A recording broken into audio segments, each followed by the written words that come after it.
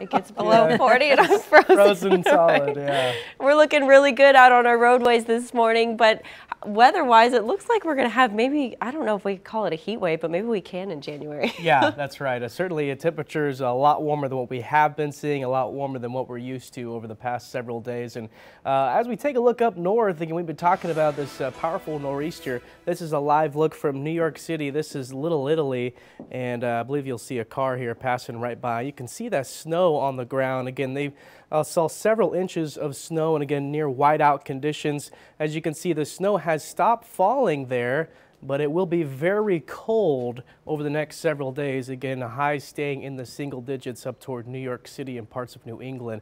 Here in Tulsa, though, things are looking pretty good and calm from our Air Comfort Solutions downtown camera. We've got mostly clear skies out there. Closest uh, cloud cover down to our south and far uh, northern uh, parts of Texas. That's, and that's where it'll stay over the next few hours, but we will start to see more cloud cover arriving from the northwest as we head through the afternoon and evening. But really as we head through today, it's going to remain fairly sunny. It's a, certainly a frigid start this morning, though. 17 degrees in Broken Arrow, 18 in Bixby, 21 right now up in Claremore, 13 the cold spot in Bartlesville. It is 14 degrees in Tahlequah. So make sure you're prepared for the cold this morning. It's certainly a frigid start, dressing in layers, bundling up. Again, we know the drill by now.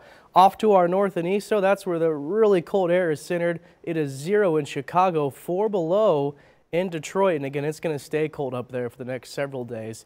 Winds are fairly light this morning and they'll stay light as we head throughout the day, but it is just enough to give us a bit of a wind chill. Right now it feels like 12 degrees in the Muskogee area. So we stay sunny throughout most of today and those clouds start to arrive from the northwest as we head through the evening hours. It will stay fairly cloudy for your Saturday, but dry and fairly warm with highs near 50 once again. As we head towards Sunday morning, that's when the rain starts to arrive. This is about 7.30 in the morning on Sunday. The rain moves across and then moves out as we head towards Sunday night into early Monday morning.